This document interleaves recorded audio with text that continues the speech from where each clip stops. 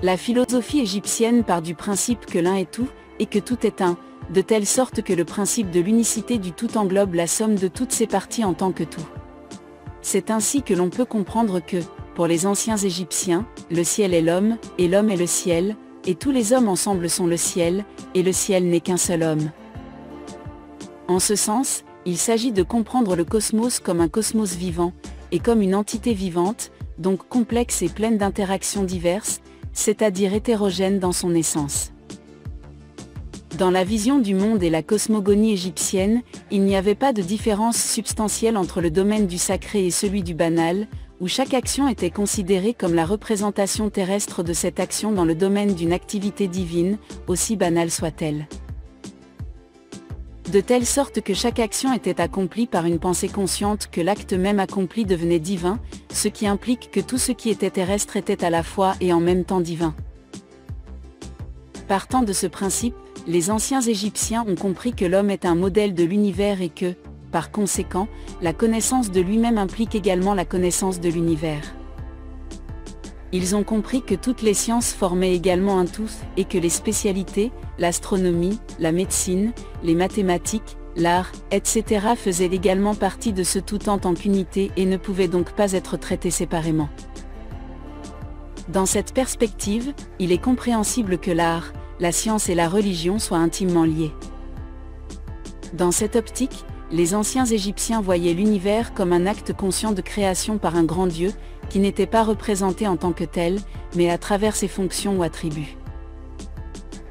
Le mot hiéroglyphique Néter est traduit par Dieu, mais il doit être compris non pas comme Dieu en lui-même, mais comme la fonction cosmique, c'est-à-dire la fonction de Dieu manifestée de différentes manières dans un cosmos qui est vivant. Ainsi, si l'homme a été créé à l'image de Dieu, l'homme représente l'image de toute la création. Ainsi, les idées cosmologiques et cosmogoniques de l'Égypte ancienne ont été exprimées à travers les mythes et les symboles comme moyen de représenter des concepts de nature métaphysique. Par conséquent, le mythe devient un élément de communication de la connaissance, un acte de dramatisation, où la tragédie et la fortune, en tant qu'opposés, convergent en tant que partie d'une totalité, tout comme les lois cosmiques. C'est pour cette raison que le mythe dans l'Égypte ancienne manque de valeur historique, car il n'acquiert sa signification profonde qu'au moment où il est révélé, et c'est à ce moment précis qu'il se transforme en connaissance scientifique et philosophique. Pour leur part, les symboles fonctionneront comme le support idéal qui permettra la représentation de la réalité et la construction de la connaissance sur la base de cette représentation. La réalité n'est donc pas la réalité, mais la représentation de la réalité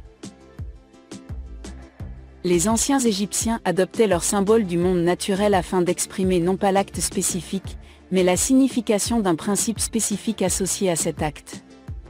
Par exemple, la scène des semailles et de la récolte représentée dans une tombe serait interprétée non pas comme l'acte terrestre des semailles et de la récolte, mais comme un acte générique dont le message transcende le spirituel dans le sens où ce qui est semé est récolté. Mais quel était le concept de l'être humain pour les anciens Égyptiens? Premier mythe populaire raconte que la race humaine est née des larmes de joie du créateur Atomra, lorsqu'il a récupéré ses premiers enfants les dieux Chou et Tefnut des eaux du chaos, ce qui dénote par cet acte divin, que l'existence de l'homme a un caractère positif, car l'humain dans son essence est le fruit d'une extase suprême émanant directement de la divinité. D'autres versions du mythe de la création considèrent la naissance de l'homme comme l'œuvre culminante du Créateur, celle par laquelle s'achève toute la création. Ainsi, après avoir créé d'autres dieux, des démons et diverses entités, le Créateur, au moyen de l'argile et avec l'aide du dieu Pas, le grand démiurge de la ville de Memphis, ou du dieu Khnum, donne le souffle de vie aux humains. Par la suite, Kémi, en Égypte, sera créé avec des animaux et des plantes, et le Nil, de sorte que le nouvel être vivra dans un verger. Puis, afin de contenir les forces du chaos, les hommes se verront accorder la royauté et la politique, et la première organisation humaine verra le jour avec lui-même à sa tête, car dans l'Égypte ancienne, le Pharaon était le Dieu lui-même incarné. Les humains ne sont pas créés comme des dieux, ni des esprits de la nature, ils sont terrestres, donc ils n'ont pas la capacité d'agir sur l'invisible, mais c'est par leur dialogue avec les dieux qu'ils peuvent entrer en contact avec l'invisible, ce qui leur donne la capacité d'être des intermédiaires entre les deux dimensions, la terrestre et la divine. L'être humain est un projet conçu par le Créateur, mais avec une autonomie totale, il est le connecteur des deux mondes et en tant que tel, il a son identité et sa liberté même vis-à-vis des dieux, la clé est de savoir contrôler sa part de nature obscure et de ne pas se laisser séduire par les forces du chaos et du désordre. Dans le chapitre 17 du livre des morts, l'une des principales réponses du défunt qui lui permet d'avancer dans le jour est que l'homme en tant qu'identité subsistera après le phénomène de la mort. La mort est un changement de vie pour l'humain et non sa fin définitive, et elle aura donc un effet fondamental également pour l'homme sur Terre, puisqu'une grande partie de ses actions terrestres auront une répercussion sur son existence dans l'invisible. Les anciens Égyptiens étaient un peuple qui ne segmentait pas l'existence. La vie et la mort faisaient partie du même scénario, l'une agissant comme une extension directe et ininterrompue de l'autre. La mort n'était pas simplement la mort de la vie, mais une continuité, spirituelle et corporelle, renouvelée et éternelle, de la vie. La philosophie égyptienne de la mort peut être comprise en analysant l'individu sous deux aspects. Béa, âme supérieure immortelle, jumeau du cœur, copie de chaque être humain. C'est la force plastique par laquelle l'âme s'immisce dans le monde des vivants. Ka, double substrat du caractère éthéré du mort, vivant et actif, base de la vie posthume qui joue après la mort le rôle du corps terrestre pendant la vie. Le cas s'oppose au kaibiti ou ombre, deuxième composé de l'être posthume, qui se caractérise par l'ensemble des désirs élémentaires, passions, vices, défauts, qui se décomposent et se manifestent sous l'apparence d'un fantôme. Les embaumements servaient à préserver le corps terrestre pour qu'il serve de demeure à Ka. Toute la vie et la philosophie égyptienne étaient fondées sur les concepts de base décrits ci-dessus. Ba et Ka sont des composants jumeaux inséparables de l'individu dans la période post-mortem. L'ensemble du corps physique était appelé Kat. Tout cela peut se résumer à un principe essentiel pour les Égyptiens de l'Antiquité, apprendre à vivre et apprendre à mourir.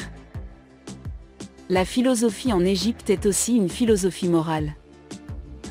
En Égypte, la philosophie était comprise comme l'application pratique d'une série de doctrines qui impliquaient l'atteinte d'une pureté permettant le développement d'une activité politique, religieuse, scientifique et artistique exceptionnelle. La morale égyptienne interdisait le blasphème, la tromperie, le vol, le meurtre par traîtrise, l'incitation aux émeutes ou aux troubles et le traitement cruel des gens, même s'ils étaient esclaves. Il interdisait également l'ivresse, la paresse, la curiosité indiscrète, l'envie, le fait de maltraiter son prochain, de se faire avorter, de dire du mal du roi ou de ses parents. L'interdiction de ces actes, considérés comme mauvais, s'accompagnait de divers préceptes sur les bonnes actions, parmi lesquels se distinguent ceux de faire des offrandes à Dieu, de nourrir les affamés, de vêtir les nus et d'autres bonnes actions.